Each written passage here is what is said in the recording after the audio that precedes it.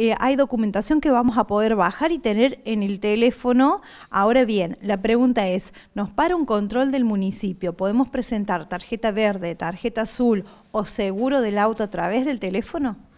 ¿Cómo le va? Buenos días. En primer lugar, eh, toda esa documentación que usted le están informando es a nivel nacional.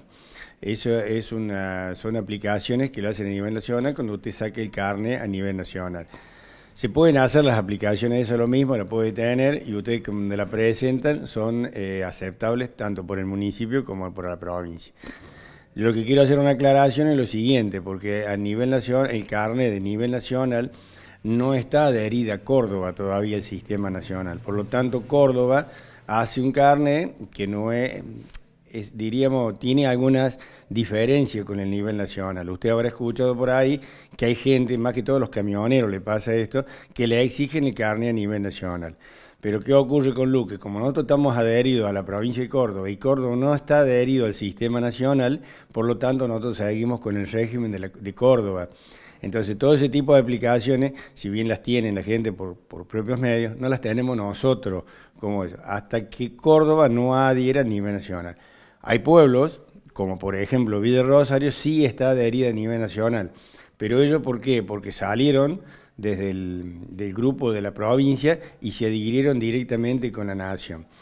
Tiene sus ventajas y sus desventajas. La primera ventaja que podríamos decir que puede llegar a tener, que es un carne unificado en todo el país. Que a la corta o a la larga yo creo que todo el país lo va a tener. Y la desventaja, que en este caso sería para nosotros, es que nosotros no, no, no tenemos el derecho de hacerlo, no el derecho, eh, para hacer el carne le entregan una máquina que usted emite el carne automáticamente. Si nosotros nos adhiriéramos a nivel nacional, esa máquina no nos dan, sino que dependeríamos de Villa Rosario por ser la cabecera departamental. Entonces la gente cuando venga a sacar un carne, en vez de hacerlo en media hora como está haciendo ahora, va a tener que venir, dejar la documentación, pagar y nosotros tenemos que elevarlo a Villa Rosario y recién ahí a los dos o tres días lo va a recibir el carne en su casa. Eso es lo que nosotros estaríamos entorpeciendo lo que logramos hacerlo en media hora.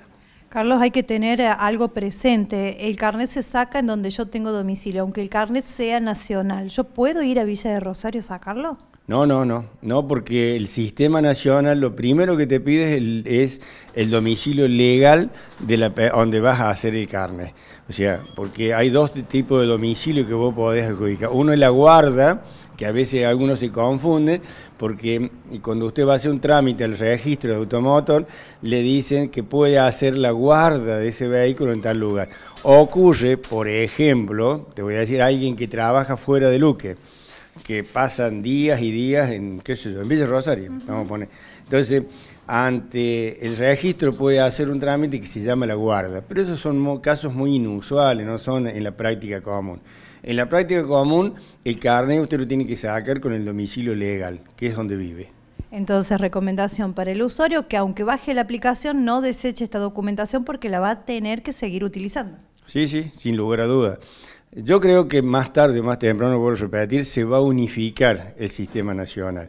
Lo que pasa es que, bueno, hay, Córdoba no quiere perder su jurisprudencia eh, en este sistema y hay pequeñas cosas que hacen que tenga diferencia el carnet nacional con la provincia y, bueno, hasta que no se logren acuerdo entre ellos y Luque, por ende, va arrastrado hasta que la provincia nos diga que sí.